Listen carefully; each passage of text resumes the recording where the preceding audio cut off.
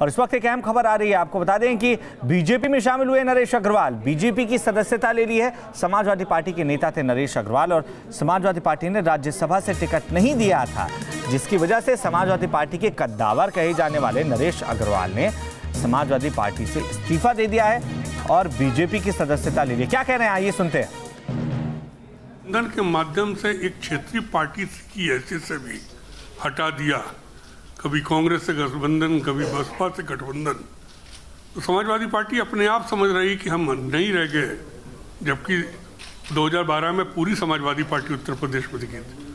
तो जिस तरह समाजवादी पार्टी को समाप्त किया जा रहा है, और फ़िल्मों में काम करने वाली से मेरी हैसियत कर दी गई एक फ़िल्मों में डांस कर दें, अपना रोल कर दें, वो लोग उनके नाम पर हमारा टिकट काटा गया।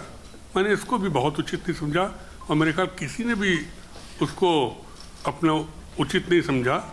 मैं इतना कहूँगा कि मैं जो भी काम मुझे भारतीय जनता पार्टी सौंपेगी, मेरी कोई शर्त नहीं है।